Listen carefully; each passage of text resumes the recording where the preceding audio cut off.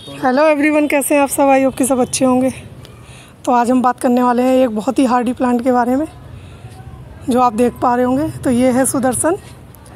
सुदर्शन एक बहुत ही Hardy plant है। चाहे जितनी गर्मी हो, चाहे जितनी बारिश हो, और चाहे जितनी ठंड पड़े, इसको कोई दिक्कत नहीं होने वाली है। अगर आपने ये एक बार लगा लिया अपने घर में तो ये अच्छे से चलने वाला पौधा है। और ये ग्रीनरी तो आपको देता ही देता है और इसके फूल भी बहुत सुंदर आते हैं। ये एक बंच आता है, एक स्टॉक टाइप में निकलता है, फिर ये खिलता रहता है, महीनों रहता है इसका फूल। कभी उसमें एक खिल जाता है, फिर दूसरा खिल जाता है, इस तरीके से ये भरा रहता है। तो इसे कुछ लोग शुभ भी मानते हैं, बोलते हैं कि इसे लगाना काफ़ी शुभ होता है। तो जिस भी रीज़न से लगाएँ आप, अपने घर में ये पौधा ज़रूर लगाएँ।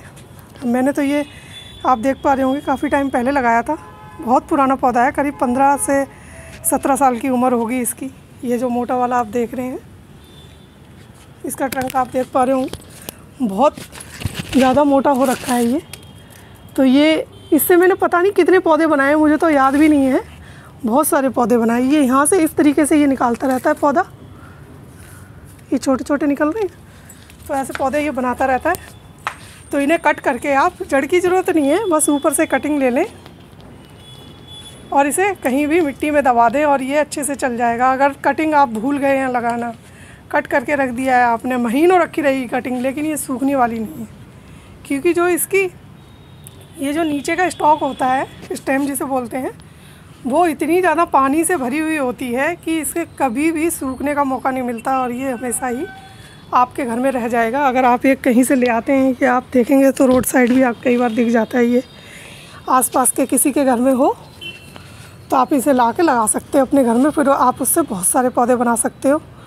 तो मैंने तो ऐसे ही किया है, ये एक लगाया था, उससे मैंने कई सारे पौधे बनाए हैं, कई बाँट भी दिए हैं। अभी भी आप देख रहे होंगे, इसमें कितने सारे पौधे तैयार हो रहे हैं।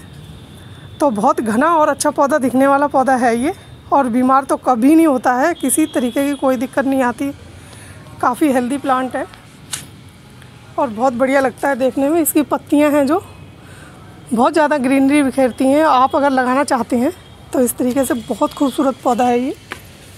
इसे मैं निकाल के दिखाती हूँ आपको।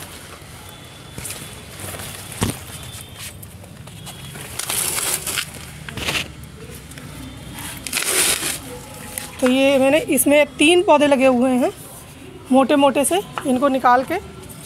फिर आप रिपोर्ट कर सकते हैं, चाहे जितनी गर्मी में कर देंगे, तब भी ये चलता रहेगा। तो इसे कैसी मिट्टी में लगाना है तो आप कैसी भी मिट्टी में लगा सकते हो, जो आपके पास हो, जो नॉर्मल हमारे गार्डन में मिट्टी निकलती है।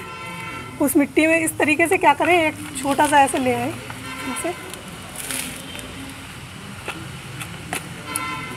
इस तरीके से, और इसे लगा दें। तो ये क्या होगा? इसी तरीके का पौधा आपका बनने वाला है। और इसे अगर 15-20 दिन ही पड़े रहने देंगे ना आप तो ये यहाँ से अपनी रूट्स स्टार्ट कर देगा। इस तो इसकी पत्तियाँ आपको मैंने बताया, बहुत ज़्यादा खूबसूरत होती हैं। जैसे कि आप देख रहे थे, आपके काम में आने वाला पौधा है। इसकी मेडिसिनल वैल्यू भी है कुछ कुछ बहुत ज़्यादा तो नहीं है, लेकिन कई, जहाँ आपको सूजन या दर्द हो तो वहाँ इसका पत्ता गर्म करके भाग सकते हैं। तो उससे आपको दर्द में और सूजन में दोनों में आराम मिल जाएगा। जैसे कि इसका नाम ही सुदर्शन तो आप समझ जाइए कितना अच्छा नाम है इसका, जो कृष्ण जी का चक्र था, उसके नाम पे है ये पौधा तो कुछ ना कुछ तो रहा ही होगा। तभी सब बोलते हैं, ये सुप प्लांट है। तो इस तरीके से अगर आपके पास नहीं है तो भी इसे ज़रूर लगाएँ। चाहे ओले भी गिर जाए ना, ये पौधा आपके घर से जाने वाला बिल्कुल भी नहीं है। खाद के नाम पे मैं इसमें आप देख रहे होंगे, जिसमें मैंने लगा रखा है। इसमें काफ़ी टाइम से मैंने गुड़ाई भी नहीं करी है, खाद तो अलग बात है। तो पानी से ही चलता है, इस तरीके से इसकी लेयर बनती है। इस तरीके से इसकी लेयर होती है। इसमें कोई मतलब बूढ़ी स्टेम नहीं होती, ये एक जेली प्लांट है, जैसे कि इस तरीके की लेयर होती है इसमें, बस और कुछ नहीं होता। तो इस तरीके से जब ये पौधा हो जाता है जब सूख जाता है इस तरीके से तो इसको आप इस तरीके से सफ़ाई कर सकते हैं और ये इससे आपकी कहीं जाने वाली नहीं है। बहुत अच्छे से इस तरीके से ये पौधे निकालता रहता है। ये छोटे छोटे पौधे हैं, ये निकालता रहता है, इन्हें यहाँ से कट करके, जैसे मैंने आपको दिखाया, इसे कट करके कहीं लगा देंगे तो ये अच्छे से चलता रहेगा और कोई दिक्कत इसमें आने वाली नहीं है। कोई स्प्रे नहीं माँगता आपसे कोई खाद नहीं माँगता है। बस आपके घर में आ, कोई लोग बोल रहे हैं कि उनके घर में एक ही बार बारिश के टाइम फूल आते हैं पर ऐसा नहीं है। ये हमारे घर पे जब मर्ज़ी स्टॉक आती रहती है मैं आपको दिखाऊँगी विंटर में भी इसमें फूल आते हैं। ऐसा नहीं है कि इसमें एक ही बार फूल आते हैं। साल भर में अगर हेल्दी प्लांट है तो फ्लावरिंग करता रहेगा लेकिन थोड़ा सा छोटे पौधे में जल्दी फूल नहीं आने वाले हैं। एक डेढ़ साल की एज हो जाएगी उसके बाद ही इसमें फूल आएँगे। तो ये सुदर्शन का पौधा काफ़ी शुभ है। आप अपने घर में ज़रूर लगाएँ। अगर आपके पास ज़मीन है तो ज़मीन में लगाएँगे तो ये काफ़ी अच्छे से फैल जाता है। जो इसकी ये लीव्स है ना, इससे दोगुनी बड़ी हो जाती हैं। ये पौधा अभी इसमें गमले में, इसलिए थोड़ी छोटी पत्तियाँ हैं। नहीं तो ये देख पा रहे होंगे आप। काफ़ी लंबी हो जाती हैं इसकी पत्तियाँ, और देखने में बहुत सुंदर पौधा है ये। मतलब मैं कहूँ, मेरी छत पर जितने पौधे हैं ना, उनसे सबसे ज़्यादा हार्डी प्लांट ये है। और इसमें कोई रोग नहीं आता, कोई दिक्कत नहीं आती है, बस एक बार आप लगा लो, फिर इसको पड़ा रहने दो, पानी दो ना दो, ये चलता रहेगा। तो सुदर्शन सुदर्शन पौधा आप ज़रूर लगाएँ अपने घर में।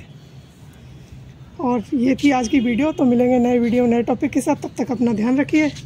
और ये वाला पौधा ज़रूर लगाइए अपने घर में। तो बाय बाय